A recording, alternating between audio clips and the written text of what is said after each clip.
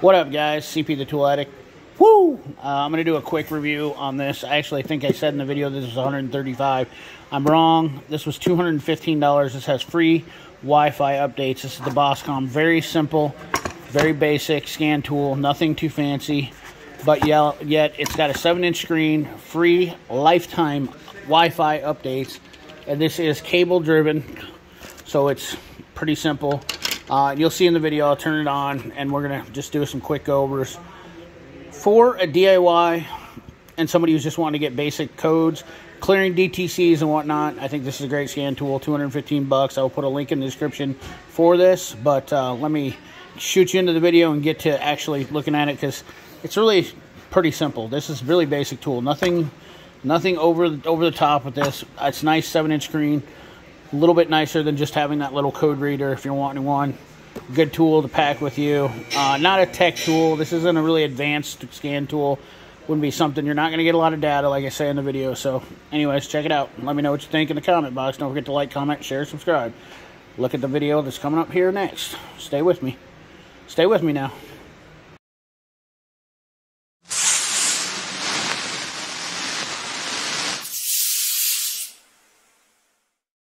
Today, I'm going to do a quick video on the Bosscom scan tool. Uh, and so far, I'm kind of impressed. For 140 bucks, 135 bucks, I think. CP! Stop lying to the nice people out there, you ding dong. You fool, it's 215. This is. This is not a bad scan tool for DIY or somebody at entry level. This is a cabled OBD2 scan tool. Um, I'm on domestic. I'm on Asian. Hold on a second. Let me switch it around. Hard to record when you're one-handed, but I'll see if I can do the best I can. So we can see here that we have American, Asian, uh, Chinese, and European. And I'm not going to get into every one of these, but I'm just going to give you the basic overview on this.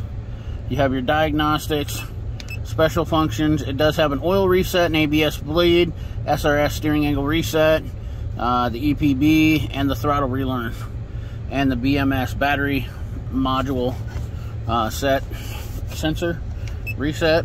I don't know what the you can. I don't know what BMS stands for. To be honest with you, big man syndrome. Let's get swole. Time to get swole. Get your creatine. Get all your powder. Yeah, big man syndrome in the house. it's probably what it really stands for, but it's a battery module system, I guess, is what it is. Uh, I think the big thing is if it would work on a BMW, but I don't have that available, so we can't look at that. So, nonetheless, let's uh, let's look at the settings quick. It's got an OBD2 uh, generation, and then it's got a settings. Let's just go into the settings. Uh, not too bad, really, for honestly for the money. I, I can't complain here. Auto scan. Uh, not sure what any of this means. Not going to go into that. This is going to be a quick system Android.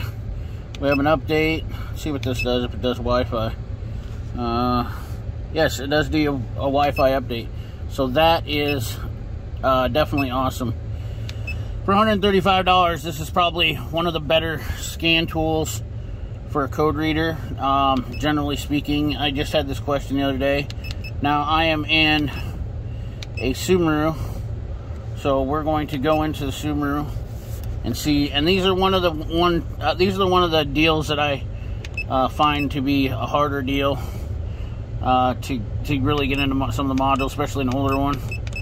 Um, but you see, it has a listing, like most scan tools do, of things that you can do with it. Does that mean that you can? Uh, let's for this, for instance, here, see if it connects the ECU. It'll probably say it's okay to continue. And yeah, nothing. So some of these functions on some of these functions on here, or these modules that it current claims that it has on here, are obviously just dummy modules, and they're not going to give you uh, in, an actual reading, which or an actual ability to get into the module and look at that system. But this, it does get into the transmission, which there was no codes in the transmission, so there's really nothing to see. As far as technical data, this isn't going to give you a lot of technical data. Once again, this is a code reader and uh, some reset abilities, and that's what this is. This is not. Um, let's see here, system make. Okay. So we'll go in here and check the engine control module and the transmission. So we'll go, well, we've already looked at the transmission. I'm gonna I'm gonna tell you right now. There's no code, so it doesn't show anything.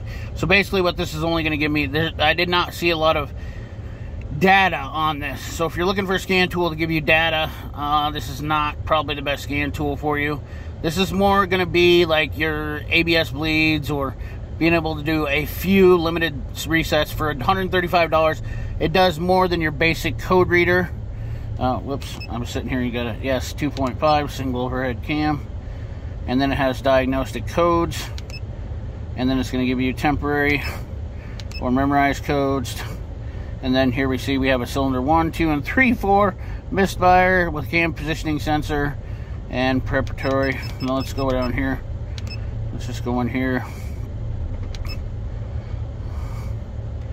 uh, yeah so it doesn't have a code definition library neither. Let's see if we can get any data out of this. No. We're not going to get any data out of this. So that's basically the nuts and bolts of this thing is is it's not a uh, not a real heavy duty code reader. It is however just a good scan tool for doing basic code checks and some resets. That's all it is. It's $135 scan tool uh, would I buy the scan tool for this uh, absolutely if I was just looking for like let's say I was out on a trip I needed to find, I wanted to take something with me to have with me in the car uh, to make sure if I had a code problem, I could fix it. This would be a good emergency tool to take with you in a car to have. Uh, is this a scan tool for a uh, technician? No, this is a basically a DIY and find the find the code, and then you get to do some research on your phone, do some Google search, and uh, try to find some stuff. But you're not going to get a lot of uh, module information. You're not going to get a lot of PIDs, data, the whole nine yards. So uh, I hope you enjoyed this video. Uh, and if you have any questions about this, uh, let me know in the comment box. There's really not much to say. I think I pretty much said it in the video though, so I covered most stuff. Uh, nice scan tool overall. It's a nice scan tool, comes in a nice case. Nothing too fancy. So anyways, guys, like, comment, share, subscribe. Ring that bell. Remember, keep your hands dirty and your money clean. Thanks for watching.